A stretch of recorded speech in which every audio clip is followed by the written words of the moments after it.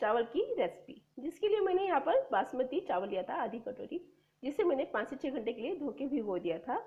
उसके बाद हमने इसे बारीक करके पीस लिया है।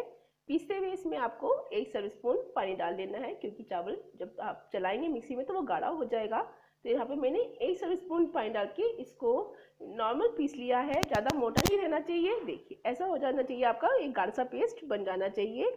अगर मान लीजिए आपका चावल पीसते हुए जैसे आपने पानी कभी ज़्यादा हो जाता है और वो पतला लगता है आपका पेस्ट तो उसमें आप थोड़ी सी सूजी मिला सकते हैं, एक से दो चम्मच तो वो आपका पेस्ट बिल्कुल सही तैयार हो जाएगा, देखिए। आपको चावलों का इसका ऐसा पेस्ट तैयार करना है। इसके साथ ही यहाँ पर मैंने लिया है एक बॉइल्ड आलू, जिसे मैंने छील के इसे भी हमने मिक्सी में डाल के पीस लिया है। आलू को अगर आप पीसते हैं तो बहुत ही अच्छा इसका एक टेक्सचर हमारे को मिलेगा, देखिए कितना बढ़िया हमारा ये आलू कलेस आया है, बिल्कुल गाढ़ा गाढ़ा पीस के हमारा आलू आ चुका है उबलावा देखिए, ये एक आलू है, जिसे मैंने पीस लिया है। आलू को हमें बिना पानी के पीसना है। आलू में हम पानी ऐड नहीं करेंगे, सिर्फ़ हमें चावलों में थोड़ा सा पानी ऐड करना है। अब चावल के अंदर हम आलू को ऐड कर देंगे कि जो हमने आलू पीसे हैं। जब आप इसमें बॉयल्ड आलू डालेंगे बॉयल्ड आलू का बहुत अच्छा टेक्सचर आता है। मैंने बॉयल्ड आलू से दो तीन वीडियो बना रखी है कि आप बॉयल्ड आलू की कितनी बढ़िया प्यूरी बना सकते हैं, किसी भी सब्ज़ी में ऐड कर सकते हैं। मैंने पहले सब्ज़ी भी बनाई है बॉयल्ड आलू की, बहुत अच्छी बनी है इसकी प्यूरी बना के।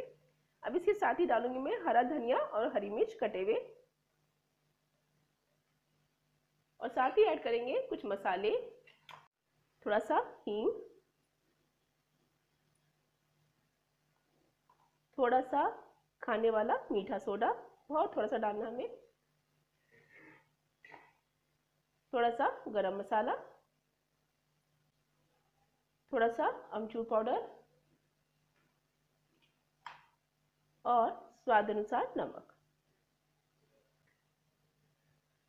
अब इन सबको हम अच्छे से मिक्स कर लेंगे।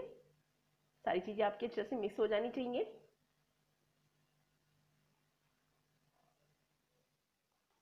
यहाँ पर हमने मसालों को मिक्स कर लिया है। अब इसको हम दो मिनट के लिए फेंट लेंगे।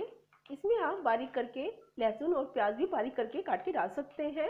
वो भी बहुत अच्छा लगेगा, पर आज हम इसमें लहसुन और प्याज कुछ नहीं डाल रहे हैं। हम इसको प्लेन ही बना रहे हैं। आप इसमें जिंजर गार्लिक पेस्ट भी डाल सकते हैं। वो भी बहुत अच्छा लगेगा।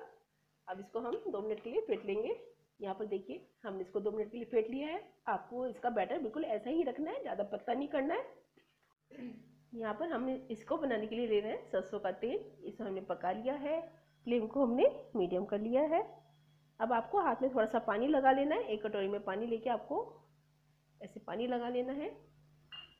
अब यहाँ पर इसके हम छोटे छोटे बॉल्स तोड़ेंगे। आपको ऐसे ले लेना है और साइडों में से छोटे छोटे इसके बॉल्स डालने हैं।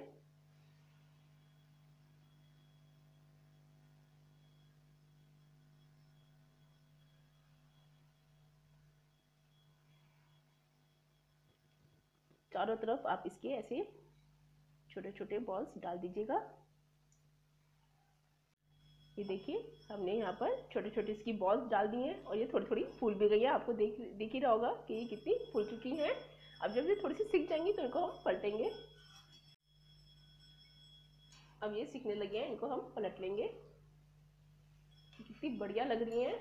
जैसे आप मंगोरी बनाते हैं। ये चावल और आलू की हमने यहाँ पर बनाई हैं पकौड़ियाँ।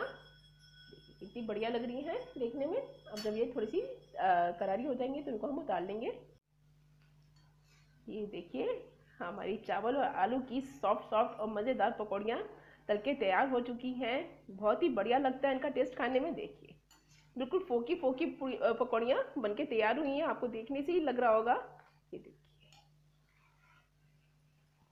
इसे आप गरम गरम सर्व कीजिए, चटनी, सॉस के साथ। बहुत बढ़िया लगेंगे और बिल्कुल अलग तरह की एक पकौड़ियाँ हैं, ये देखिए। इसी तरह से यहाँ पर मैं इसका दूसरा बैच भी डाल दूँगी। यहाँ पर हमारी आलू और चावल से बनने वाली झटपट और चटपट पकौड़ी बनके तैयार हो चुकी है। देखिए कितनी बढ़िया बन के आई है, बहुत ही टेस्टी। कितनी करारी और कितनी बढ़िया पकौड़ी बन के आई है। बहुत ही जल्दी बनने वाली एक छोटी सी रेसिपी है। तो आप भी इस रेसिपी को ज़रूर बनाइएगा और हमें बताइएगा आपको ये रेसिपी कैसी लगी।